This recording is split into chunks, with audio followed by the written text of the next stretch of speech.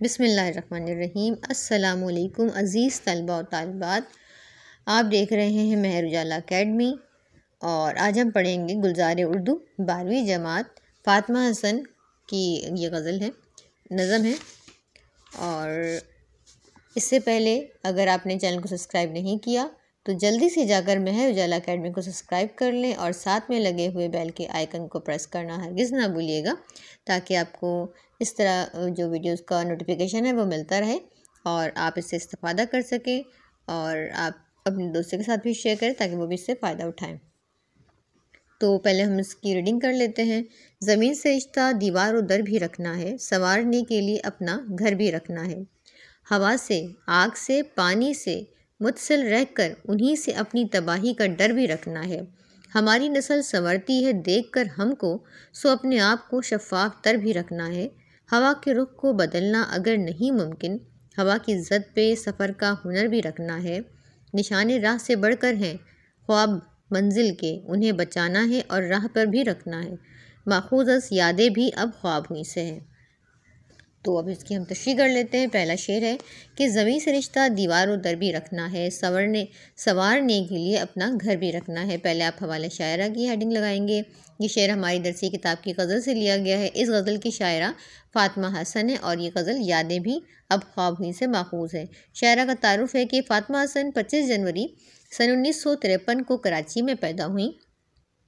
फ़ातिमा हसन उर्दू की मशहूर शायरा हैं। फ़ातिमा हसन के वालिद ढाका रिहाइश पजीर थे। फ़ातिमा हसन ने इब्तदाई तालीम ढाका से हासिल की। जब सकूत मशरक़ी पाकिस्तान का सानहा पेश आया, उस वक्त वो ढाका यूनिवर्सिटी में उर्दू ऑनर्स की तालबा थी। नाइनटीन सेवेंटी थ्री में कराची वापस आ गई। यहाँ आकर उन्होंने जामिया कराची से एम ए सहाफ़त की डिग्री हासिल की और महकमा इतलात सिंध जदीदा ख़बरनामा से बतौर नायब मुदीर वाबस्ता हो गई।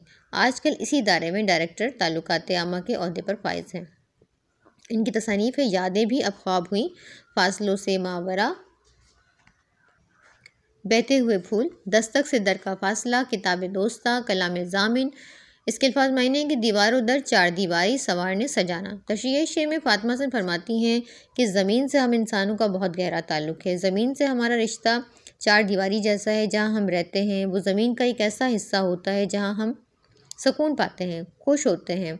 तो हमारा काम है कि उस हिस्से को जहाँ हम रहते हैं, खूबसूरत और आरास्ता करें और इस ज़मीन का ये भी कर्ज़ है कि हम वहाँ की तहज़ीब और सकाफ़त का ख्याल रखें, उसे आबाद रखें। जब हम अपने घरों को आबाद रखेंगे तो ज़ाहिर है कि दुनिया में भी अमन अमान का बायस होगा और अपनी ज़मीन से ताल्लुक़ मज़बूत रखें अपने घर को संवारें, सजाएँ और इससे ज़मीन की खूबसूरती में इजाफा होगा। ज़मीन इंसान के लिए माँ की हैसियत रखती है। माँ से इंसान का ताल्लुक़ कभी ख़त्म नहीं हो सकता।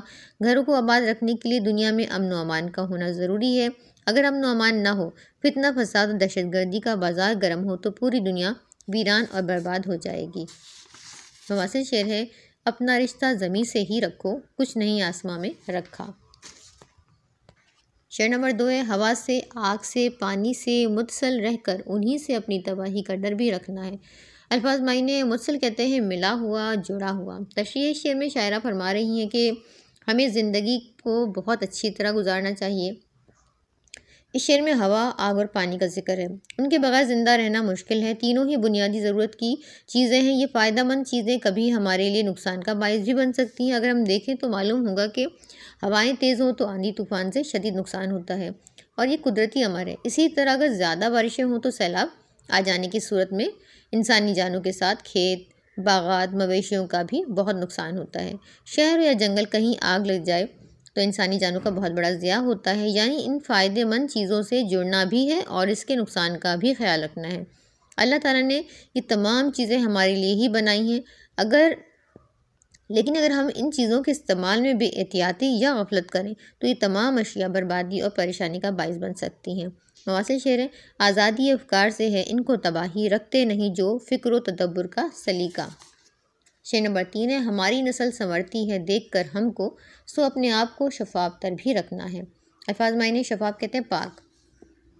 तशिए इस शेर में शायरा फरमाती हैं कि हमारी ज़िंदगी गुजारने का तरीका अगर ठीक होगा, कुरान और हदीस के मुताबिक होगा, हमारे अंदर अगर अच्छी खूबियाँ मौजूद होंगी तो हमारी आने वाली नस्लें हमें देखकर हमारे नक्श कदम पर चलकर एक बेहतर और मुशफ़ाफ ज़िंदगी गुजारने के काबिल होंगी।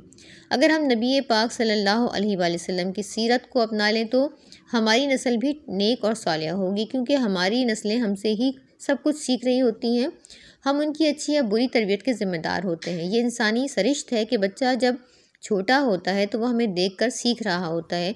इसलिए अगर हम चाहते हैं कि हमारी औलाद नेक और सौलिया बने तो हमारी अवलिन तरजीहत में नेक और तैयब रिस्क का हसूल ज़रूरी है, ताकि हमारी औलाद नेक और हलाल और तैयब रिस्क वाली हो और गुनाहों के और बुराई के हर रास्ते को अपने लिए बुरा समझे। इसी में हमारी बका है। अफराद के हाथों में है अकवाम की तकदीर, हर फर्द है मिलत के मुकद्दर का सितारा। शेर नंबर चार है कि हवा के रुख को बदलना अगर नहीं मुमकिन, हवा की जद पे सफ़र का हुनर भी रखना है। मुश्किल पास के मायने हैं, जद कहते हैं निशाने का सामना, हुनर कहते हैं कमाल बस खूबी, फ़न। तशिए इस शेर में इशारा फरमाती हैं कि इंसान को हालात से समझौता करना पड़ता है। हम एक काम से इंसान हैं और हम दुनिया का तमाम इंसानों को नेकी और भलाई का दर्ज तो दे सकते हैं।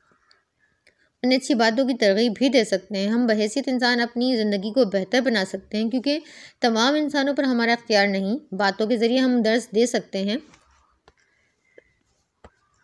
लेकिन बजात ख़ुद अपने आप को बुरे कामों से रोक कर सीधे और अच्छे कामों को करके, अमली नमूना पेश करके हवा का रुख बदल सकते हैं। शायरा भी यही फरमा रही हैं कि हवा की ज़द पे सफ़र का हुनर रखना है।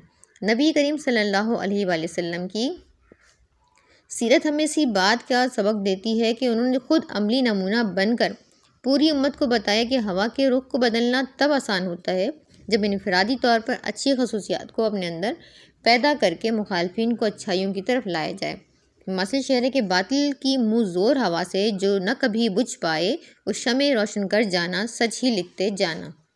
शेर नंबर पाँच है, निशान राह से बढ़कर हैं। ख्वाब मंजिल के, उन्हें बचाना है और राह पर भी रखना है। अल्फाज के मायने हैं निशान कहते हैं, मंजिल के रास्ते का निशान।